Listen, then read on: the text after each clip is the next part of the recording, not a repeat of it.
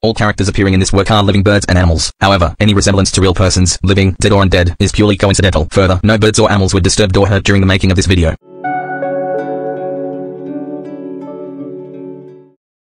It was raining continuously during monsoon here. The mountain looks stunning on rare sunny days. Nature has given us a very narrow window for the life to thrive. We humans want to save the earth, of course after we save ourselves from this tiny virus first. This was a giant rain tree which stood tall for many years in front of our balcony. You may recall our hornbills sitting on it in my last video. Now it is not as obese as it was before. Not any aerobics, we humans trimmed it for the fear of falling on our heads. Are we saving the Earth or making it a convenient place for us? If the Earth doesn't want us, it can get rid of it in a moment. Earth will still survive, we won't. Is there a solution? Can we save the nature with what is given by the nature? Yes, we can. Watch till the end. The Uninviteds, Part 2.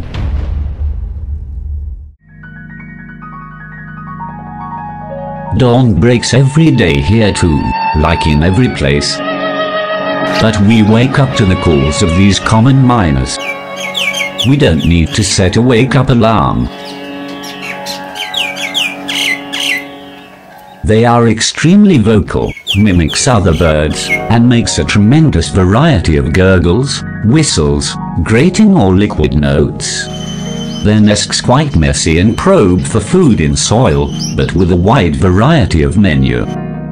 Fruits, grain, insects, grubs, kitchen scraps, bird eggs, baby mice, frogs, lizards, crabs, flower nectar etc.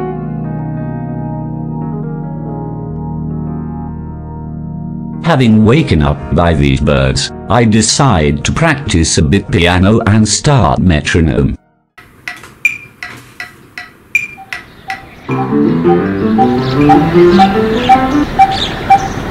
But another metronome beats coming from outside with a different tempo invites me to pick up the camera. My co-musician is a coppersmith barbet.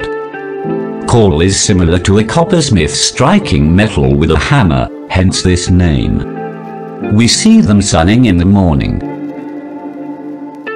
Remember our red-vented bulbuls and rose-ringed parakeets appeared in part 1? They have been seen to indulge in robbing coppersmith's food and berries brought to the nest. They make their home on dead wood branches.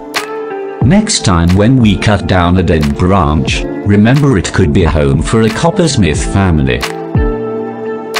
Now I get a loud scream from kitchen. Smida has spotted a bird.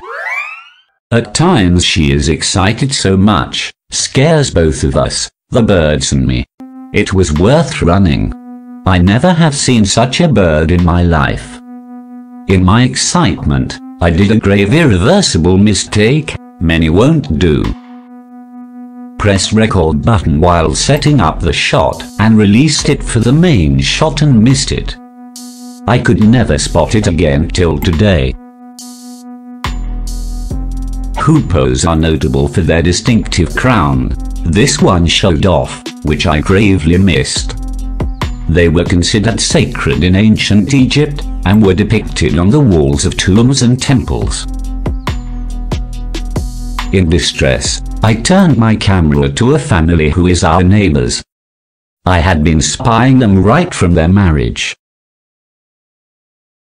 Seven months, Seven months before. before. These are small Indian kites, well adapted for city life.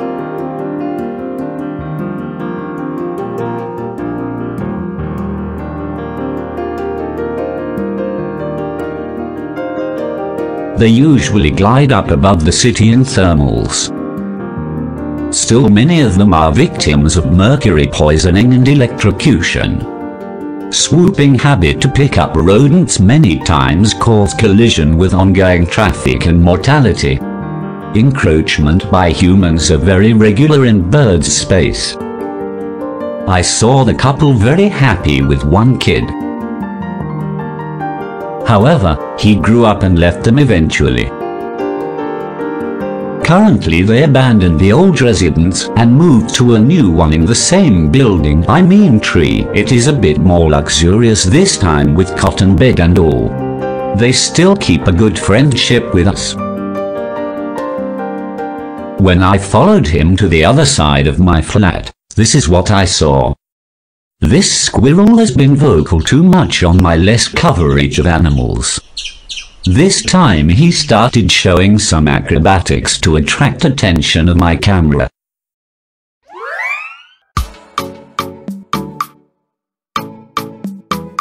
He can't digest cellulose. Nuts he buried have sprouted. Poor fellow now has to eat buds and seeds of this tree.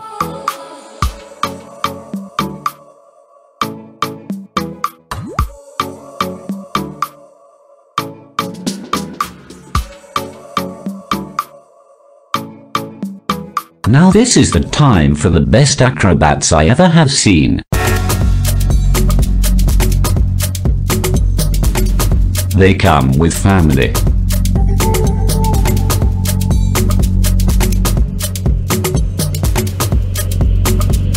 Nowadays they keep a watch of Corona safe online grocery and vegetable delivery.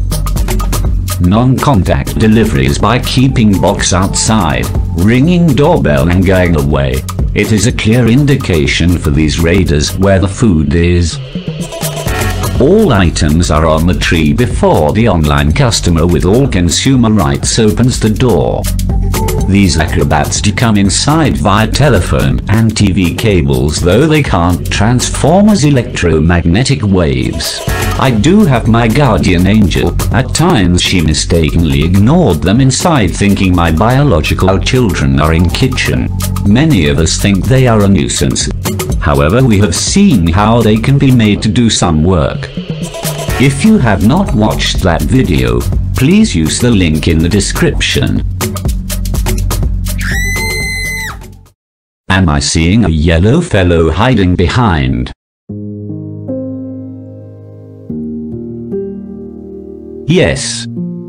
This must be an Indian golden oriole male. The male has the black eye stripes extending behind the eye. These streaks on the underside says this is a female Indian golden oriole.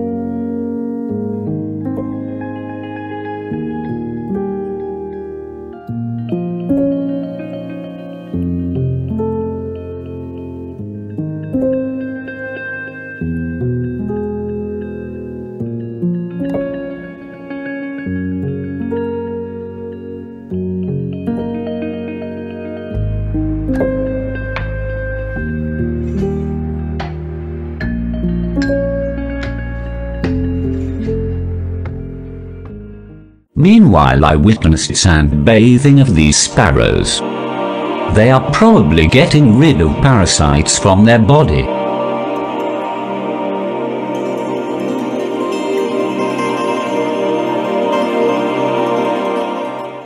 Then this greater cuckoo came hurriedly like a police officer, checking whether everything is alright here.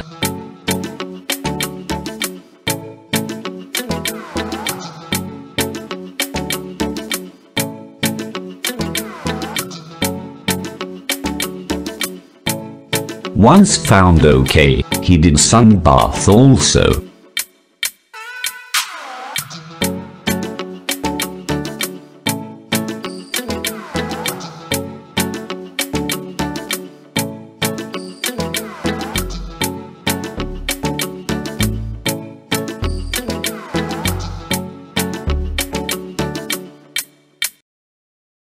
Look at this beautiful symbol of peace. Humans make them into many pieces in Sudanese and Indonesian cuisines.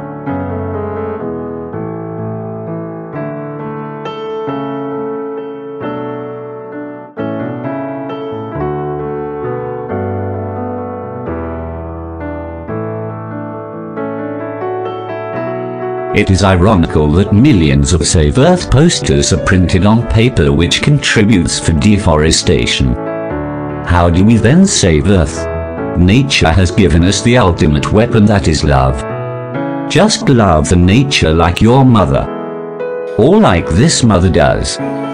Love the plants and birds like your children.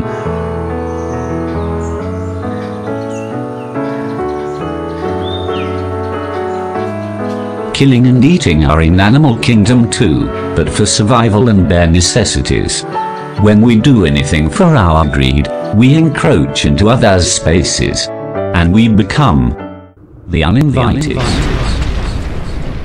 However, it is Mother Nature. Whatever we do to her, she knows only to take care of us and pardon us.